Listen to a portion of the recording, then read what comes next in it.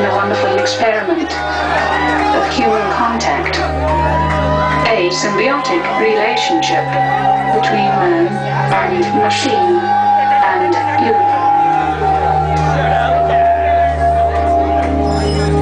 The human brain is capable of millions of connections.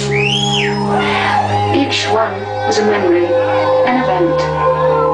Tonight be remembered not by one, but by thousands of these relationships. As you leave here tonight, close your eyes and travel back to here, to now. And always remember that this was one moment. You were not alone, and you felt something that thousands of others had felt.